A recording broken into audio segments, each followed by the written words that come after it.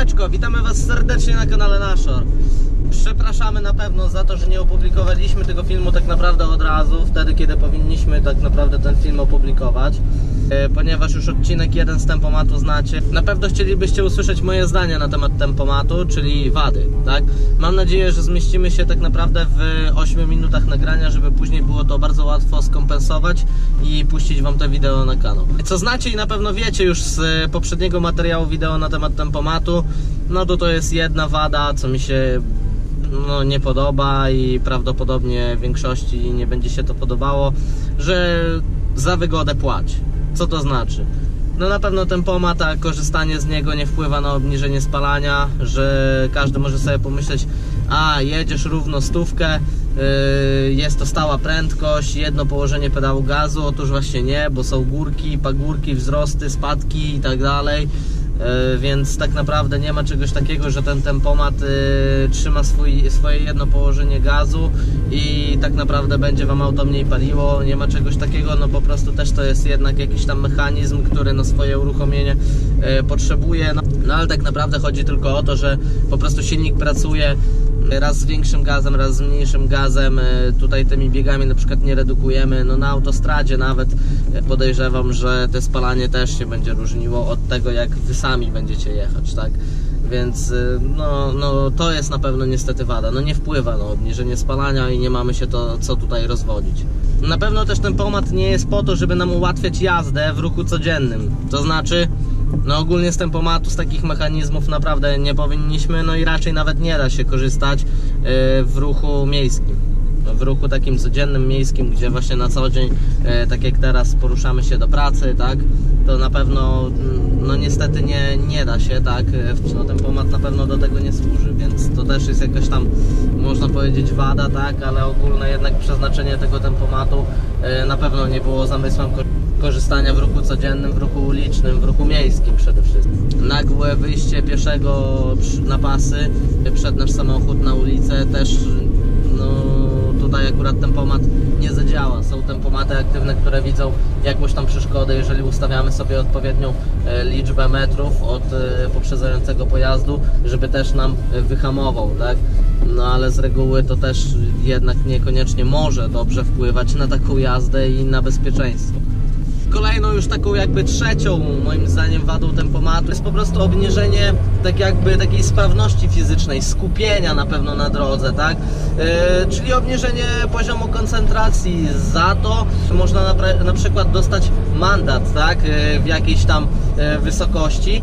No bo jeżeli nie zachowamy właśnie szczególnej ostrożności, co pozwala nam na to skupienie, koncentracja i tak dalej i dojdzie do jakiegoś zdarzenia drogowego nieprzyjemnego, jakiejś kolizji i tak dalej, no to widzicie, wada tempomatu jak znalazł, czyli obniżenie koncentracji, obniżenie poziomu skupienia i tak naprawdę no człowiek nie, nie skupia się na tym, mm, co może po prostu się na tej drodze nam wydarzyć. Przy tej drugiej wadzie właśnie nieco wspominałem o czwartej. Otóż y, chodzi o to, że aktywny tempomat ma swoją wadę, ponieważ nie do końca może prawidłowo działać. Otóż o co chodzi? Chodzi na pewno o to, że on widząc jakąś tam y, przeszkodę y, z przodu uruchamia awaryjne hamowanie i to awaryjne hamowanie może nieprawidłowo zadziałać. W momencie, gdy y, załóżmy wchodzimy w zakręt, w lewo bądź w prawo. Tutaj mogą być słupki, tak? Bądź pojazd, który mijamy z naprzeciwka. Może odczytać jako przeszkodę i rozpocząć awaryjne hamowanie, więc to też niekoniecznie wpływa na bezpieczeństwo, tak? Więc tak to też wygląda. Jest to czwarta wada, która tak naprawdę mówi o tym, że tempomat też może być w pewnych sytuacjach niebezpieczny.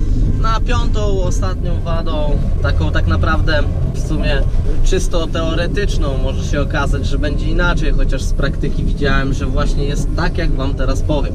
Otóż właśnie ta piąta wada charakteryzuje się tym, że nasza przepustnica e, powoli zaczyna się zużywać. Ten motylek, e, ta linka, te napięcia, tak, czy, czy nawet e, elektroniczne otwieranie przepustnicy zaczyna się zużywać w pewien sposób, a co za tym idzie? Później mamy problem na przykład z utrzymaniem wolnych obrotów silnika.